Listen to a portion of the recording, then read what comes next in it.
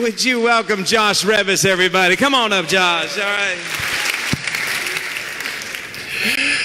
Thank you, Brother Charles. Now, everybody can sing. Us regular human beings can sing. But there's some people who can sing with an A. And Charles Billingsley can sing. Holy smokes, man. Thank you so much. And Brother Jerry, thank you so much for inviting me to be here tonight. I do not take it lightly. When I saw the lineup of who he had for these marvelous Mondays, uh, there's a who's who of preachers who's he's invited. And to be honest, I'm more of a who's that. And, uh, but I snuck in and you're stuck here, so I'm going to go ahead and preach. Now, how many of you, just to go ahead and give me a heads up, how many of you have heard my dad Herb preach before? Okay, all right. Okay, okay. He's my favorite too, all right. People ask me all the time, they say, Do you preach like your daddy? And I tell them, No, because our people at our church couldn't handle two of that. And, uh, so, no, so it'll be a little bit different, but we're going to have a good time. If you brought your Bibles, I'm going to ask you to open them up to Matthew chapter 20. Matthew chapter 20. And if you're a note taker, here's the title of tonight's message Life's Not Fair. I told you we were going to have fun. Life's Not Fair from Matthew chapter 20. I'm going to begin reading in verse 1. Jesus is speaking, he's teaching, and he says, For the kingdom of heaven is like a landowner who went out early in the morning to hire laborers for his vineyard. Now, when he had agreed with the laborers for a denarius a day, he sent them into his vineyard.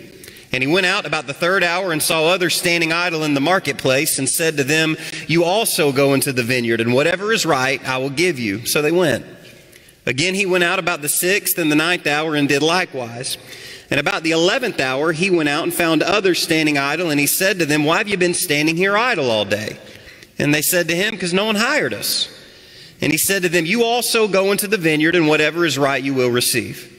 So when evening had come, the owner of the vineyard said to the steward, Call the laborers and give them their wages, beginning with the last to the first. And when those who came who were hired about the eleventh hour, they each received a denarius. But when the first came, they supposed they would receive more. And they likewise received each a denarius. And when they had received it, they complained against the landowner, saying, These last men have worked only one hour, and you made them equal to us who've borne the burden in the heat of the day. But he answered one of them and said, Friend, I'm doing you no wrong. Did you not agree with me for a denarius? Take what is yours and go your way. I wish to give to this last man the same as to you. Is it not lawful for me to do what I wish with my own things? Or is your eye evil because I am good? So the last will be first and the first last. For many are called, but few are chosen. Let's pray together. Lord, we're thankful for what we've experienced already this evening. God, we know that you're here. We can sense your presence among us. God, we're thankful for the worship we've already experienced, for the fellowship that we've had with one another. But God, we've come here tonight because we need to hear from you. And God, you've brought me here tonight to deliver your word. And God, I want to say what the Bible says. I don't want to say any more or any less. So, God, I pray you'd give me your word for this moment, for these people. And that, God, you would change us from the inside out. There are people in this place who are lost. They need to get saved tonight. There's some who are in sin and they need to repent tonight. There's some who are discouraged and they can find that encouragement in you tonight. God, whatever we need, I pray you'd meet us where we are and that you would change us from the inside out. And we ask it all in Jesus' name. Amen. There's a little phrase we've all been saying for a long time. That's not fair. That's not fair. Now, we've all said it. Sometimes we say it out loud. Sometimes we whisper it. Sometimes we say it in jest, sometimes we scream it in anger. And we learned it from the time we were little. You go to the table, it's time to eat dinner, and your mama tells you right up front there's not going to be any dessert unless you eat all these vegetables. And it's the biggest pile of vegetables you've ever seen in your life. And you say, well, that's not fair. And so you muscle down all the vegetables, and then she gives you the dessert. And you realize the piece of dessert isn't nearly as big as the pile of vegetables. And you say, well, this isn't fair. And you grow up and you keep realizing that life's not fair. You get your first job. I remember my first job, I was making about $5 an hour. And I think I worked about 10 hours that week. And I was so excited to get my first paycheck because I'd worked 10 hours and I was making $5 an hour. So I was going to get $50. And some of you are already laughing because you know what happened. I got my check and it wasn't $50. And I went to my boss and said, I worked 10 hours for $5 an hour. I'm no genius, but 10 times 5 is 50. I said, Who are these people called Social Security and what are they doing with my money? And that's when I learned about taxes. And you know what I said? That's not fair. Right? All throughout life, we have these experiences and we say, life's not fair. And listen, there are certainly injustices in this world. There are things that happen that we would look at and go, that is not right. This should not happen. There are abuses. There are things that happen that are evil. But what I'm talking about tonight is this general outlook that we have towards the world so often where we say things that basically amount to this I'm in last, but I deserve to be in first. I don't like the way things are going, and my situation is not fair. Now, this story here, it's a parable that Jesus used to teach the people, and what he was teaching them was what it means to be a part of the kingdom of God. He was teaching them about who God is and who we are and how it is that we can be right with Him and how it is that we are called into this kingdom that He's establishing. And here he goes through and he makes it very clear to us, and he's going to make it very clear tonight who he is, who we are, how we relate to him, and what the relationship between God and man is supposed to look like. Now, before we jump into this, I want to explain what's going on here in this passage of Scripture. Because as we're reading through this, there's some stuff going on, and you may be going, I have no idea what's happening here. There's landowners and managers and denarius and 11th hours and 9th hours, and I don't know what's happening. And so here I want to give you just a clear picture of what's going on here. It says that there's a master who owns a vineyard, and he's going out each day to hire people to work inside of his vineyard. And it says that he goes out in the early hours of that morning. It would have been 6 a.m. And he goes out to what would have amounted to a labor pool, a group of individuals standing around who didn't have jobs, needed jobs. And so he hires them to work. And he says, if you'll come and work in my vineyard today, at the end of the day, I'll pay you a denarius. Now, a denarius is a biblical term. We don't know what the exact amount of money is, but what we do know is that it was equal to an honest day's wage that if you worked a full day, a full day's work was worth a denarius. Now, the value of that would change from year to year, time to time, but it was a general term for an honest day's work. And he says, Will you agree with me that if you work the whole day, I'll pay you a denarius? And they say, We agree. And they shake on it, and the first crew goes into work. Well, it says that the, the master goes out several more times that day, goes out three hours later at 9 a.m., and he finds another group of people standing there and he says, Listen, I need more workers. But now that the beginning of the day has already passed, he enters into a different agreement with this group and he says, If you will come and work in my vineyard for the rest of today, at the end of the day, I'll pay you what's right. And they agree and they go in and begin to work. It says he goes out at noon, hires some more folks, goes out again at 3 p.m., hires another group, says, I'll pay you what's right. And then he goes out, it says about the 11th hour. That would be 5 p.m., one hour before closing time. And he hires another group of folks and says, at the end of this hour, I'll pay you what's right. They go in and they work says that at the end of the day at 6 p.m., he goes to his steward, the man who manages his vineyard. And he says, I want you to get all the workers together and I want you to pay them.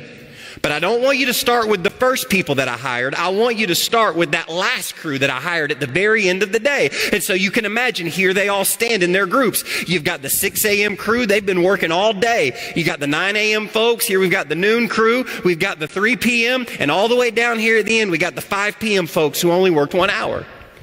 So he calls up the group that worked that 11th hour on, and to their shock and amazement, when they hold out their hand, the steward puts a full denarius in their hand, an entire day's wage for one hour of work. Now we know what starts happening because of verse 10. It says that the group in the 6 a.m. crew, their internal cash registers start turning. They've got dollar signs flipping on their eyeballs. All they can start thinking is, wait a minute, he told us he was going to pay us a denarius. They only worked one hour. If he paid them a denarius for one hour, how much is he going to pay us? Five times more? Ten times more? There's no telling what we're going to get. But then their excitement starts to dwindle because the 3 p.m. crew, they get a full denarius. And the noon folks, they get a full denarius. The 9 a.m. crew get a denarius. And by the time it gets down to the 6 a.m. crew, they put out their hand. They are horrified and angry to receive a denarius. And it says that by the time it gets to them, they are so mad that they begin to complain against the landowner. Now, I know what some of you are thinking right now. You're like, Brother Jerry, I like this guy. He's chewed up 12 verses of scripture and we've barely gotten started. But I just want to give you a heads up. This is where we throttle back. Because in response to their anger, in response to their dissatisfaction, you find there in the last few verses that the master asks the workers three questions. And in these three questions, we get a clear picture of who God is, who we are, and how we're supposed to relate to Him. You see the first question down there around verse 13 says, But he answered one of them and said, Friend, I'm doing you no wrong. Here it is. Did you not agree with me for a denarius? Did you not agree with me? Here's the first truth we need to understand tonight God keeps his word. God keeps his word.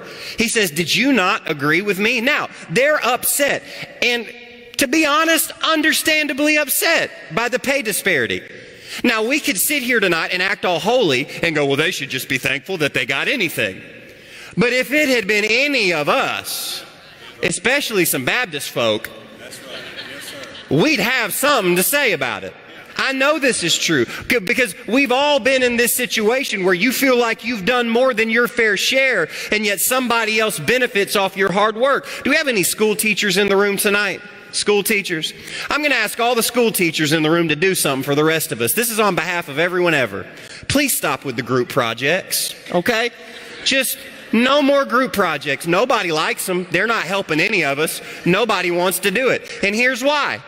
Because in every group project, there's four people. And it's always four. I don't know why it's always four, but you pick four people. Now, there's always a chief who has already assigned themselves the chief. Their personality type is AAA plus plus plus. Before she's even assigned the topic, they've chosen the topic. They know what's going to happen, who's going to have what responsibility, when the meetings are going to be, and how these things are going to be outlined. And then you have two other people in the group, and they're, if you got one chief, they're, they're, they're good soldiers, good Indians. And they're going to do what you ask them to do. I may not do much of the planning, but I'll do my part. I'll show up when I'm supposed to be there. I may be late a couple times, but, but I'm going to be there. And then there's a fourth person. And if you don't know who the fourth person is, you're the fourth person. And this is the joker that shows up never sleeps through class, doesn't come to any of the meetings, doesn't do their part. Person number one has to pick up all their slack, but they're for sure going to show up on the day the project's due and ask one important question Did you put my name on it? Did you put my name on it? And you go, Well, that's not fair, right? I remember when I was in seminary, I was single at the time, and so me and my friends, man, we were we were poor and single, so we ate a lot of Little Caesars pizza. That's what the Lord, the Lord created Little Caesars for single college students and seminary students. Said uh, when we get together and want to eat, you, you didn't just go out willy nilly when you don't have a bunch of money and just buy however many pizzas. You got to do some pizza math. so what you got to do, you got to figure out how much pizza everybody's going to eat. So I, am I'm, I'm sort of, I'll be honest, I'm, I'm person number one in the group project, so I always took charge of this process. So I'd go around the room. I'd say, Brother Jerry, how, you hungry? And he'd go, yeah, man, you know, I skipped lunch today. I'm pretty hungry. Well, how many pieces you want? He said, I think I can eat about four pieces. I say, all right. Jerry wants four pieces. I go, Shannon, what about you? How you how you feeling? Well, I had a pretty big lunch, ate late. I think I can eat about two pieces. Okay. Shannon wants two. And then I don't mean to stereotype, but I'm going to right now. There's always one in every group, and it's usually a lady. And we'll just call her Sally. If you're here and your name's Sally, nobody told me anything about you. It's just, it's just, and here it is. And you go, Sally, how hungry are you? And Sally's going to go, mm, I'm not hungry. I'm not hungry. I don't really eat. Um, I'm on a new diet. I'm an airitarian. I eat air. I just breathe and I don't eat food anymore. So I'm, I'm not even going to eat a piece. I'm going to eat like a piece of a piece. Actually, what I'm probably going to do is just get a pepperoni off somebody else's piece. But okay, Sally, one piece. And so then I get out my calculator, I divide it up. Here's how many pieces we need, and I start going around. All right, here's how much four pieces is going to cost you. Here's how much two pieces is going to cost you. Sally, here's how much one piece is going to cost you. And the pizza comes, everybody's eating and having a good time until we look over and see that Sally's already mowed through four pieces of pizza. And she's not coming up for air. Yeah, yeah, yeah, yeah, just as fast as she can go. And everybody's going, yo, whoa, Sally, that's not, you didn't pay, that's my pizza. So this is what I'm saying, all that silly, but what, what I want you to understand, we understand where these folks are coming from, right? Well, we worked all day. We have broken our backs. We've been here in the heat of the day, and you're going to pay them the same day. They didn't work hard enough. You're not being fair. But here's the problem the master can't be unfair if the master doesn't break his promise. See, the master entered into an agreement, and the master in this parable represents God. And we, those who are in the kingdom of God, believers, we are the workers. And he made an agreement, a promise to them. And at the end of this story, even though they didn't like their circumstances, God still kept his promises. And what I find is there are many times in life that we don't like the circumstances of our life. And when we don't like our circumstances, we tend to look at God and say, God, this isn't fair. But the truth is, in the areas of our life where we believe God is not being fair, it's always in an area that He never made us a promise. You say, God, I've been faithful to you, but now here I am and I've gotten a diagnosis I don't feel like I deserve. I've gotten this sickness and I don't think this is right. This isn't fair. But the truth is, friend, nowhere in the Bible does God promise that we won't get sick. You say, Well, I've been working hard, I've been serving the Lord, and I lost my job. And I don't think that's fair. But you won't find a place in this Bible where God promises that sometimes we won't have financial hardship. You say that my, my raised my kids in church and now they're far from God, but God never promised that there wouldn't be prodigals. We may not like the circumstances, but if God's never made a promise, He can't break that promise. But the truth is, this Bible is full of promises that God has kept over and over and over. See, he never promised that you wouldn't get sick, but you know what he did promise? That for the sickness you have that really matters, the sin that's in your heart, 1 John 1 9 says that if you'll confess that sin, he is faithful and just to forgive you and cleanse you of all unrighteousness. And there has never been a person who's prayed that prayer to receive the forgiveness of God that God has not kept that promise, cleansed that sin, forgiven that soul, and made them whole. He keeps that promise over and over. I know sometimes you didn't get the job you wanted or the promotion you wanted. But you know what? Philippians tells us, Philippians 4:19, that he doesn't give us all that we want, but he supplies all of our needs according to his riches in glory. Folks, has God not been true to his word? Has he not been faithful to his promises to you?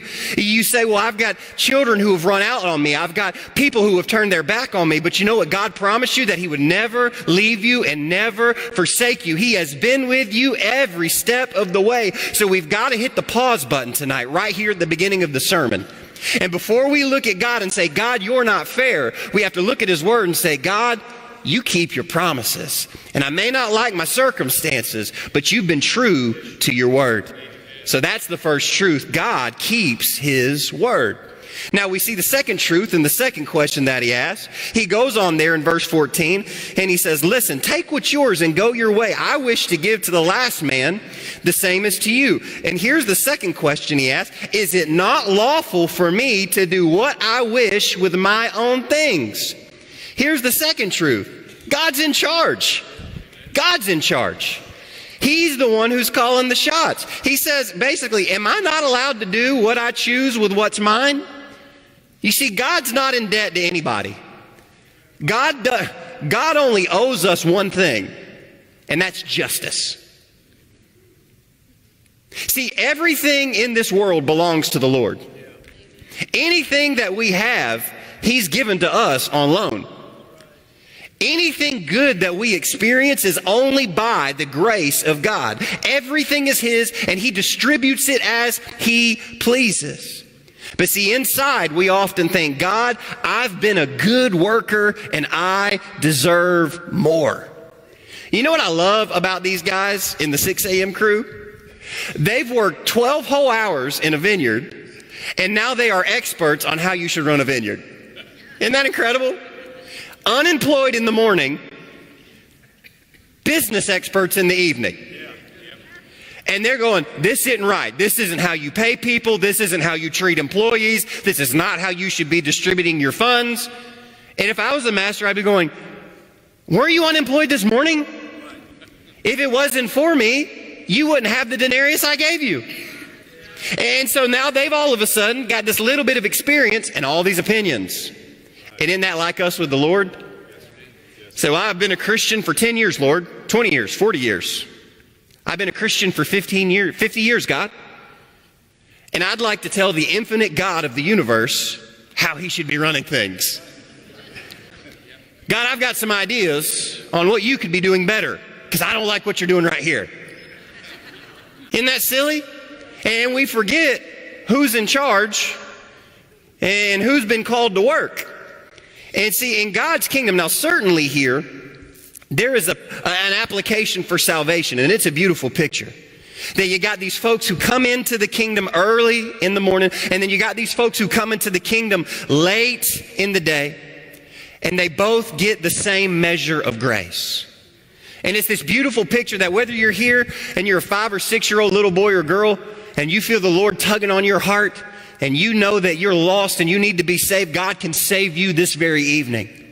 And the grace that He shows you is available to the person, and you're here in the twilight of your life. And you've been far from God your whole life. But tonight, if you would repent and believe the same grace He'd show that little boy or girl, He'll show to you tonight. And you can get saved when you're eight or when you're 80. And the same grace applies all across the board. Now, that's one clear application, but the primary application here is to the church.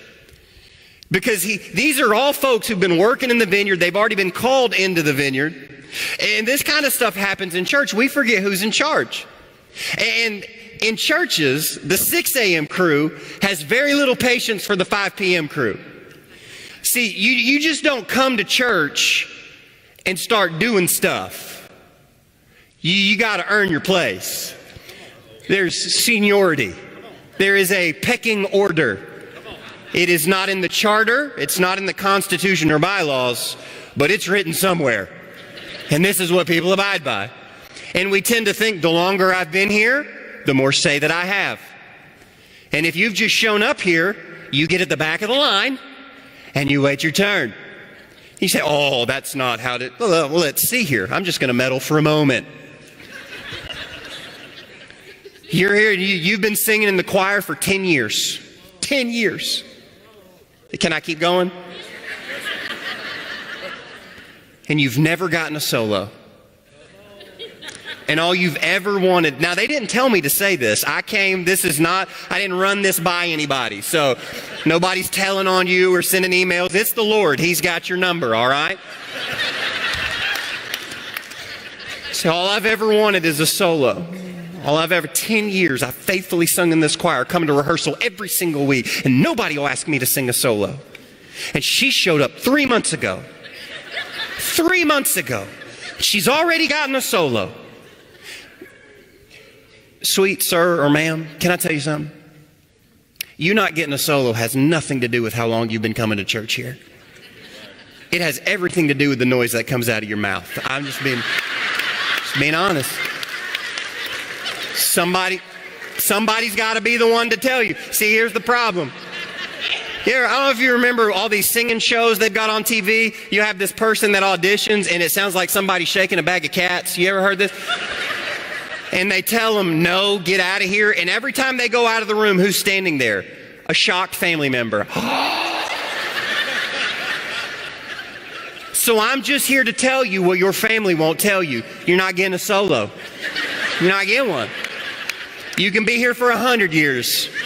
You're not getting a solo. Is it?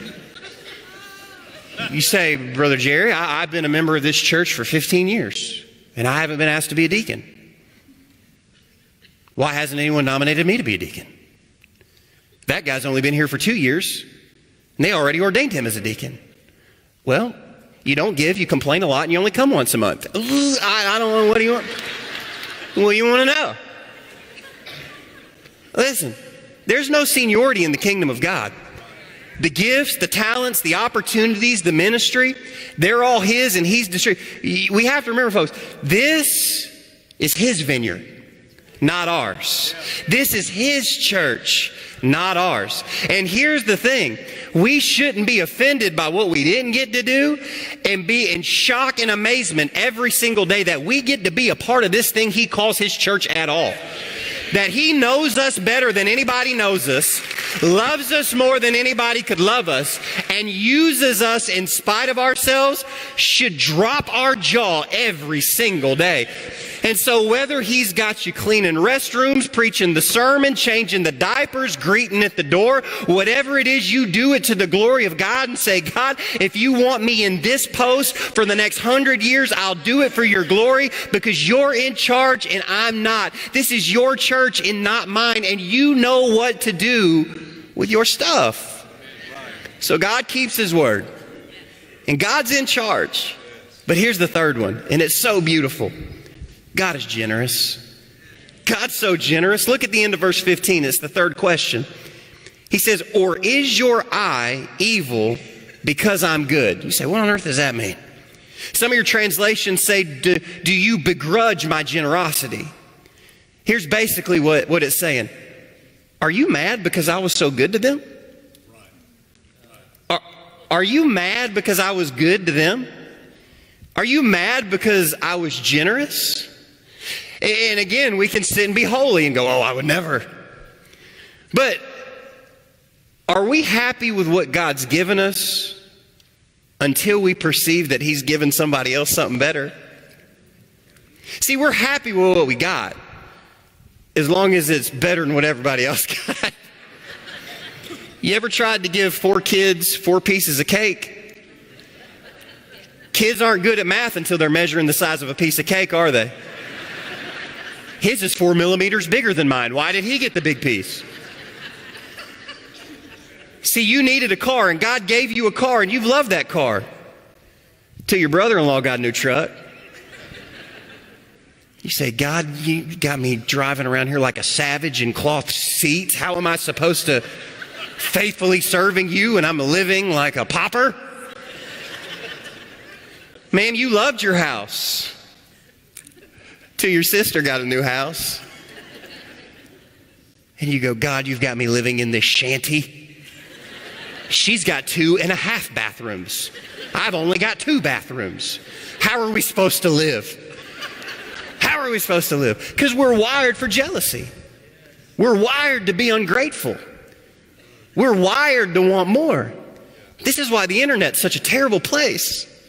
Terrible. Social media is the worst. Facebook. Oof. Facebook.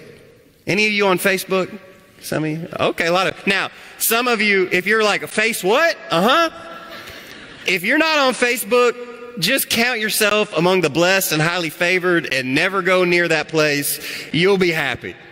But just so, in, case you don't know, Facebook is where everybody goes to lie. That's what, this is what everybody goes to lie about how great their life is. This is what happens. They get on there and you're scrolling through your Facebook and there's a picture of the Joneses and they went on their beach vacation and there they all stand in their white shirts and their khaki pants in the sand dune and they're all smiling and you go, look at the Joneses going on their beach vacation. I wish I could go on a vacation like that. But you know what they didn't post? The 3,462 bad pictures all the ones it took to get the one good picture. They didn't post the picture of mom yelling at dad because he showed up with black pants instead of khaki pants and she had to send him to Old Navy to get the right pants. And they didn't post mom yelling at the kids because they're running in the sand dunes because heaven forbid you took them to the beach and expected them not to run for the water. They didn't post grandma going, all I've ever wanted is one good picture of this family. No, just one smiling picture to make you jealous. Some of you got friends, they, they post these statuses that make you want to scream. It's a picture. It's a picture of their kids reading books. And here's the caption How do you get them to stop reading? How do I get them to put down the books? And you're going, I have no idea. Because I can't keep mine from punching each other in the face. We can't. Kids singing in the morning. Is there anything sweeter than the sound of little voices praising the Lord in the morning? Beats me, bud. I don't know. I got three grizzly bears in here. I'm dragging out of the bed every morning and throwing on the bus. Here's the one that's going to make some of you ladies lose your mind. It's, you know, picture of her sweet husband. Oh, that was my sweet man. Can't even keep anything on my honey-do list. What am I going to do with them? And you're going, could you send them to my house? Because I got a lump of flesh in this recliner over here, and he hadn't touched anything on the list for four years. That's where I'm at. And church doesn't help. You come to church Sunday morning, and every church has one, and don't point at them perfect family.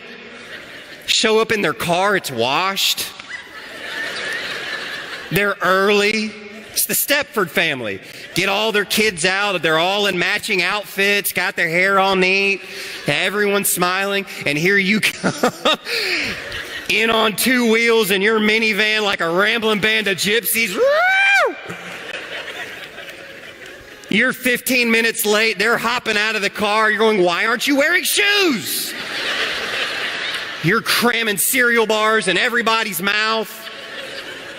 Going, you are going to act like you're happy because I am not going to let the preacher know that we are not a happy, God loving family.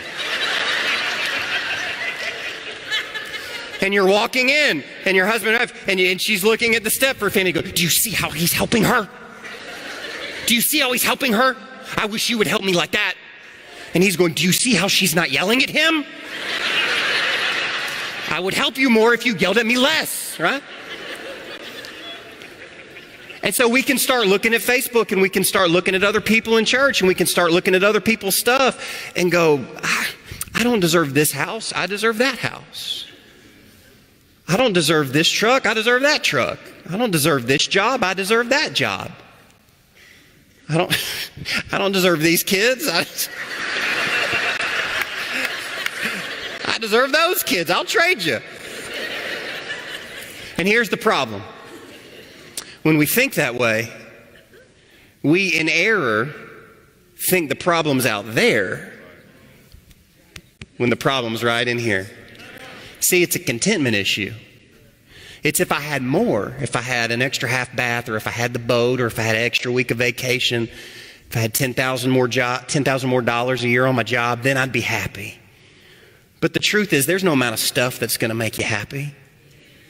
And the honest truth is, if you stop for a moment and quit focusing on everything you don't have and started paying attention to all God's done, there'd be a radical shift in focus because listen, God's been far beyond gracious with us. See, God's generous. See, verse 16 right there? So the last will be first and the first will be last. That's not some sort of holy math equation that we have to crack. So well, the first are going to be last and the last are going to be first. Well, I don't want to be in last and I need to get in first. But if I try to be in first, then I'm going to get in last. So I need to get down here. That's not, that's not how this works. What it's doing is it's communicating this truth that the kingdom of heaven's not like the world. And the last are going to be in first because they know that they should be in last. And the first are going to be last because they foolishly think that they should be in first. See, the question tonight, and this is where we'll close. See, we're all saying the same thing, we're just saying in two different ways. And it all depends on what lenses you're using to view the world. See, I wear these glasses, and these glasses change the way I see everything. When I don't have them on, everything's a blur. And when I put them on, it just changes. I can see all your beautiful faces. And there's two kind of glasses that everybody's wearing. You're wearing one or the other. The first are the glasses of fairness. You see, everybody who wears the glasses of fairness, all you can see is what you don't have. All you can see is what you should have gotten. And you look around and you go, God, I, I don't deserve, you know, I, I, deserve a better house and I deserve a better marriage and I deserve better kids and I deserve a better job and I deserve this and I deserve that. And God, all you've given me here and all you're holding out on me, you say, I don't deserve this. I don't deserve this. But for those who have been to the cross, God gives you a new set of glasses. And they're the glasses of grace. And once you've been to the cross and you realize who God is and who we are and what we deserve, you start going, You would love me? You, wait, you would save me? You would give your son to die in my place? You'll forgive all these sins? You would put a roof over my head? Food on my table? Give me this family to love, this church to serve in? And it's the same phrase, but it sounds a whole lot different. And you go, God, I don't deserve this. I don't deserve any of this. See, hasn't God kept His word? Hasn't He been in control? Hasn't He been generous to you? And so I would ask you tonight what's the tone of your heart? What's the tone of your heart? Tonight, do you sit here and say, I don't deserve this? I deserve so much better?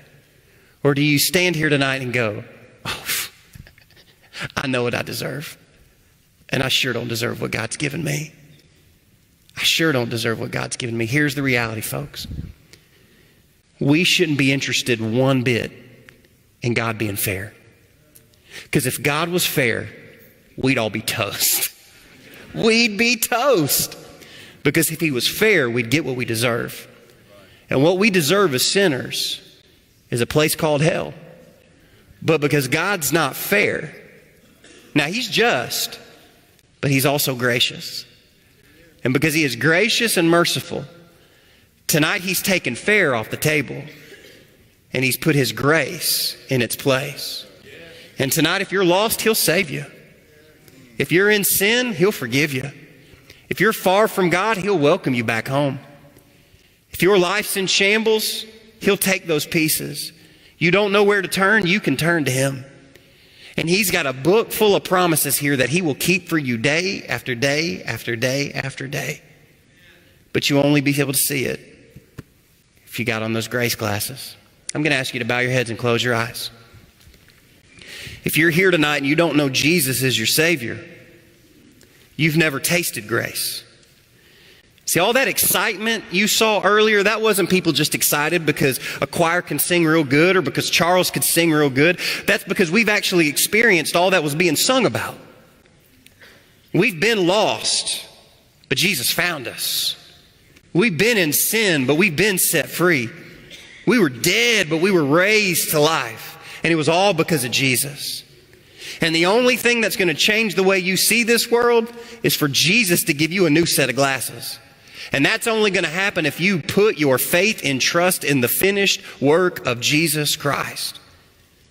And the beautiful thing is, God won't give you what you deserve. He'll give you grace and He'll give you mercy. And He'll save your soul tonight. So there's some folks in this place in a moment we're going to stand up and there's going to be ministers standing down here and you could come take any one of them by the hand and say, would you tell me how I could be saved tonight? And they'll open up the Bible and they'll explain to you how, with a simple prayer of repentance and faith, you can surrender your life to Jesus Christ as Lord and Savior tonight. But I believe on a Monday night in church, there's a bunch of God's people here, and you're saved. But all you've been able to see lately is all the stuff you don't have, and you've lost sight of all that God's done. And tonight, in a moment of humility and repentance, you need to come before God and you need to declare those three truths God, you keep your word. And God, you're in charge. You're in absolute control. And God, you have been so good and generous to me. And a little time thanking Him for all He's done, and you'll lose sight real quick of all those things you thought you wanted. And it'll change the way you see everything tonight. I'm going to ask you to do something. Would you stand all across this auditorium? Let's stand right now to make it easy for people to move. And as we have this time of singing, if you need someone to pray with you, someone to explain to you how to be saved, you come take one of these ministers by the hand. But if you just need to get alone with God and pray, these steps are open here for you. And you can come before a holy God. He'll meet you right where you are and He'll change everything. God, in these moments, I pray we would be obedient to your call. And I ask all this in Jesus' name. Amen. Won't you come? He